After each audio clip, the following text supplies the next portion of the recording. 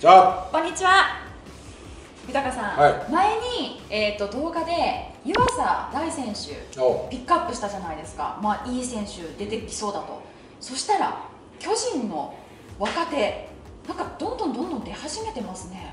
いや俺は言ってるじゃん。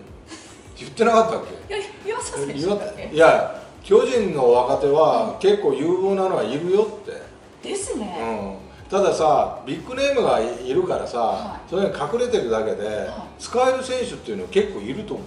てか今年豊作ですかもしかすると。いや今年っていうかちゃこうちゃんと育ててきてるよね。それが形になり始めてるんですか？そうそうそうあの例えば重信選手。あホームラン打ったな。あの球。逆転はい。あの低めのスライダーかなんかな。はい。もう原監督満面のでしたいよやもうねあれだけ足の速い選手は意外とねバネがあるからパンチ力もあるんだだからあれをああいうのをああいう選手を小さく育てようとするんじゃなくて、ああいう大仕事もできるんだから、そういうバッティングを教えるといいよね。もうとにかくお前は塁に出なきゃいけないとか、そういうことじゃなくてあのああいうことも起きるうるんだから、い。ちゃんとあのバッティングっていう指導をした方がいいよね。その重信選手の魅力ってどいや足だよ。最大の足、うんうんうん。最大の武器は足。はい。だけどバッティングも良くなってきてるから俺は1番で使っても面白いと思うぐらい、あ本当ですか、えーただポジションがないんだよ。ああどうすればいいですか？だから誰かを骨折させるとか。なんで身内で骨折されるいやわかんなないんいや昔はあったんだよおえ嘘？前いや、まあ、骨折まではいかないけどユニフォームのいやユニフォームじゃないグラブの紐を切るとか。あったの。どこのチームであったんですか？いやなんかそういうことが噂。されてたんだよ。あったんですね。だからエラーポロッとするとさえ紐が切れてたとか。こ っていうそれまでに気がつけっちゅう話なんだけどさ。そうですよね、まあ。うんいやだけど確実に重信っていうのは毎年伸びてるよ。じゃあちょっとレギュラーとか取りたいとこですじゃあもう早く取らないとはだから例えば仮名のポジションを取るとかさ、はい。年齢的にも言えば。うん。もうそのぐらいの勢いでやっていかないと俺はこういう出方でいいんだっていうのは満足してるともう次のレギュラー候補が来るからね。そうですよね、うん。後から後から。豊さん的に言うとタイプって似てるんですか？豊さんとはまたちょっと違うタイプですか？俺と？はい。あーでも育ってくるとタイプ的には一緒になってくるんじゃないの足もあって。パンチ力もあってっていうね。で左そうだね。ですよね。うん。もうあじゃあ高木豊2世になるかもいやしれない。2世はやめろまだ。まだ早い。えなんで？まだ早いま将来の。将来の、うんまあちょっと違うけどね。ちょっと違いますか。はい。あとえーまあ、吉川直樹選手。吉川直樹はさあの開幕でさ、は左のインサイドの当たるかっていうようなところをホームラン打ったでしょ、はあれ見ると非凡なものは持ってるよね。すごい選手ですね。うん。才能のある。いやそれでやっぱセカンドもできればショートもできるしさ、はい。内野だったらどこでもできるという武器もあるし、はいいや面白いよね。ただ故障がちだからさどこまで信用していいかっていうことだよね。なんかおこう疑い疑い恐る恐る使わないそうとっていうそうそうとこですでも物はすごいよ。いいもの持ってるよ。今巨人で正正正二塁手っていない？まあ吉川だよね。なんかこうちょっとこう日帰りで変わったりとか、まあしてるよね、そこをもう自分の定位置として。いやもう今年取っとかないとはいしっかりしたもので。はい。じゃないと山田が来るよ知らねえよ。あオフで？いやもしかしたらよ。FA で。来ちゃったら完全に山田選手ですよ、もうもちろんそうですよ。うになる可能性がある。いですもん。ね、この吉川直樹選手のそのなんか魅力というか。やっぱ足もあるし、はい。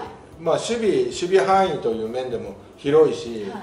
まあ二遊間ができるという選手は、うなかなかいないから、あそっかセカンドもショートも。う豊さんとタイプ似てますね。ん、似てるんだよあれ？似てる高木豊2世いやだから俺はチームにとって重宝されやすいんだよ。いや。だからいろんなポジション守れたしさ。そうですよ。あだからそう。吉川もそういうタイプ。あじゃあ高木重信は外野しかできない。あそうか内野ができない。そうそうそう。吉川は外野行ったっていい外野手になると思う。あじゃあどっちかっていうと高木豊2世は吉川直樹選手の方まあそうだが近いかもしれない、な。それだったらちょっとしっくりくる しっくりくるかもしれない。でまあ動画でも前ね流しましたけれども湯浅。湯浅な、はだから湯浅もおそらく二遊間だったらどっちだって守れると思う。いどっちもいけるんですね。それとやっぱゲームに使って味がある選手だよねあの選手は。練習の時は見栄えはし多分しないと思うけど、はい。だから井端タイプだよ、あ井端さん。うん。はい。そういうタイプの選手にななれる可能性がある。わすごいじゃないいですか。やすごいよ。ね。もう。だから期待大だよ。期待大。うん。湯浅大だけにかけたんですね。大っていうの？はい。そうなの？そうですね。そうなの？はい。次。あの豊さんが一押ししていたピッチャーで戸郷投手。東郷ね、はい。東郷はね投げっぷりがいいわ。おあとねあのチェンジアップかフォークかなんだけど、はい。こう沈んでいくボールがいいよね。うん。それまっすぐ力あるしさ。はいで昨年まではそんなに実績はなかったんだけど今年オープン戦とか練習試合見てでローテーションに入れると。だから投げてみての結果じゃないんだよ。もうやってもらわなきゃいけない選手の一人になってるんだよそれは。あそうなんでですスッと一勝できたって、はい。まあいいスタート切れたよね。やっぱでもそれなりのボール投げてるタイプでいうとどんなピッチャータイプに近いんですか？例えばまあ往年でもいいですし今でも現役でもいいですけど。まあ則本みたいになってほしいよな。希望として。すごいじゃないですか。いや向かっていく気持ちもあるしさ、はで投げっぷりもいいし、いはい、だから弱気になってほしくないよね。うん、打たれ出しても、歌に出してうも、うん。ん、もう強気にいくという、はい。まあ、そういう気持ちも持ってて強い子だと思うよ。おじゃあもう今年の先発ローテの一角を担うそうだね。もちろん投手ううん、だからまあ故障だけは避けてほしいけどね。そうですね。うん。あと、まあ、期待も込めてのあと大城選手捕手ですけれども。まあ大城はさ、うん。バッティングはいいもん、ん。だからあとはこうキャッチャーとしてい。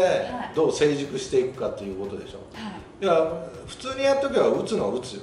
ホームランもパンチ力もあるし。はいだから非常に楽しみな選手は多多いよね。多いですよね。ただその大城捕手はそのリードの面とかってやっぱり試合に出てやらないとそれって育って経験値あもちろんもちろんもちろん。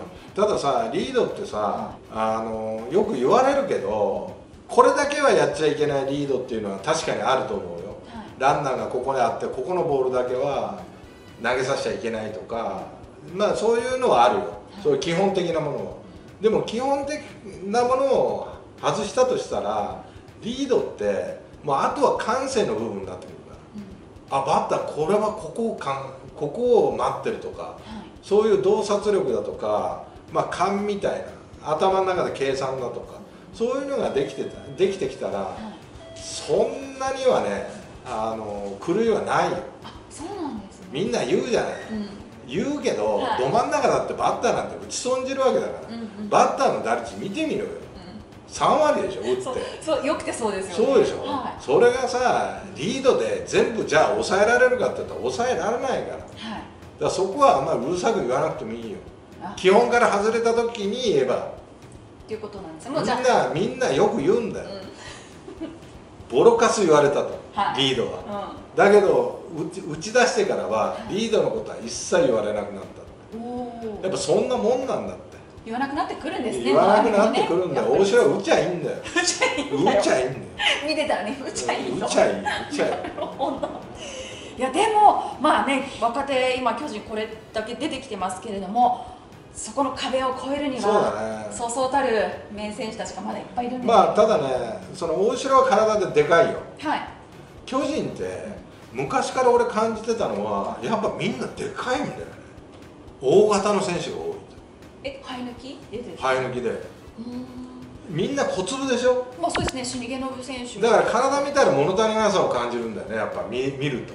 あそう見えちゃうんだよね。あはでもやっぱ小回りが効いてん便利な選手になるよこの今挙げた3人は。大城以外は。大城はキャッチャーっていうのがあるけど、うんうんうんその吉川だとか湯浅だとか重信なんていうのは、はもうあのチームにとって本当に必要な選手になっていく。